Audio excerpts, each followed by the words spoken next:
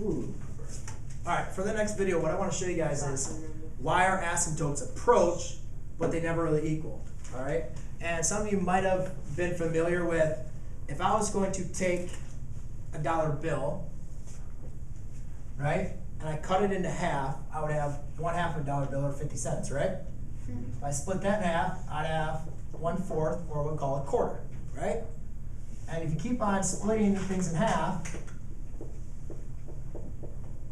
you keep on getting smaller and smaller and smaller amounts of money, right? Twenty-two.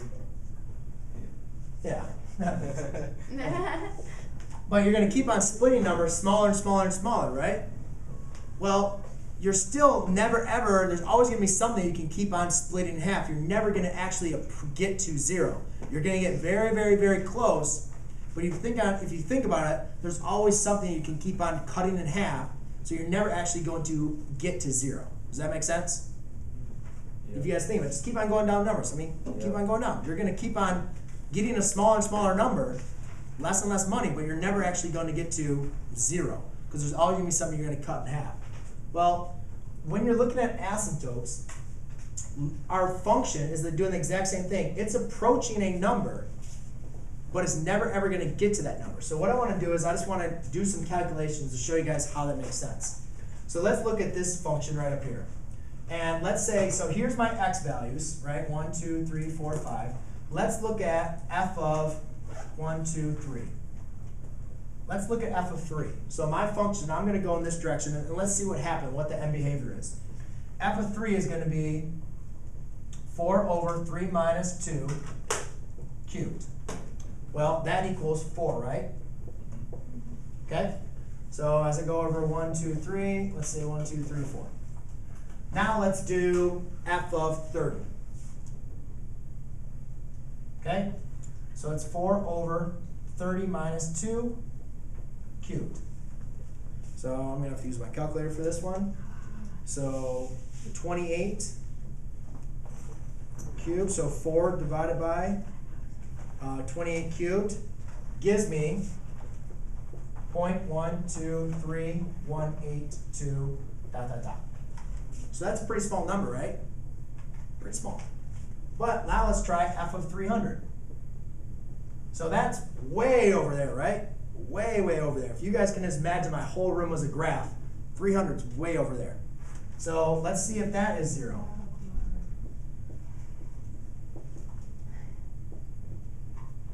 So I'll do um, 298 cubed. So 4 divided by that is going to give me 0.12345 dot dot dot. So you guys can see, look, now I have six zeros. And so what do you guys think is we're going to keep on going? We're just going to keep on adding zeros. But we're always going to have something at this end. We're not actually going to ever get to zero. Does that make sense?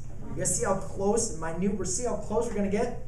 But you're never ever going to actually touch your asymptote. All right? Over here, it's the exact same thing. Let's look at the point um, f of 1. See, this was approaching your horizontal asymptote. Let's see how it approaches your vertical asymptote. So if I do f of 1, so that means that's going to give me negative 1 cubed.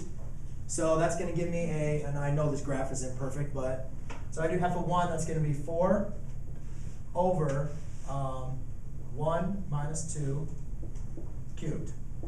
Well, that gives me negative 4, correct? So over 1 goes down 4. Yeah, my graph probably should be something like that. All right. So now let's do, well, we can't do f of 2 because we know f of 2 never hits, right? So let's do f of 1.5. So that's 4 over 1.5 minus 2 cubed. So that's going to be a negative 0.5 raised to the third power. 4 divided by that is a negative 32.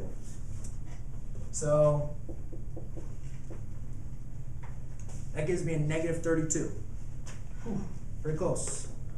Um, then let's do, um, let's get something even closer. So let's split that. Let's just do 1.9. Let's see really close. How much would it be really close? So I do f of 1.9 equals four divided by one point nine minus two cubed. So four, one point nine is gonna be 0.1 raised to the third power. Four divided by that is gonna be four thousand.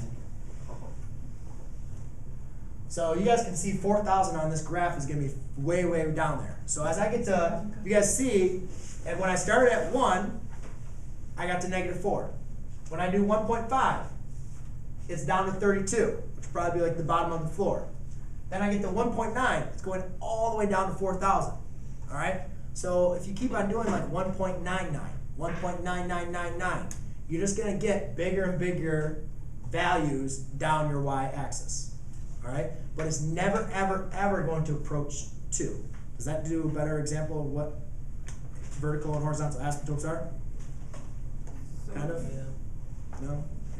Yeah. So is that how you would, um, graph it without a calculator? when you're graphing a calculator, what we're gonna do is we're gonna practice plotting points, and we're gonna be picking points that we're gonna wanna use, and then we're gonna plot and generate the curve from there.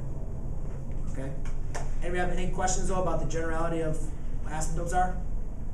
No? I mean, I didn't hear the whole beginning of it, so it's taking I didn't hear the whole beginning of Oh. the explanation. so Okay. it's taking this time. That's okay. Okay. I'm gonna re-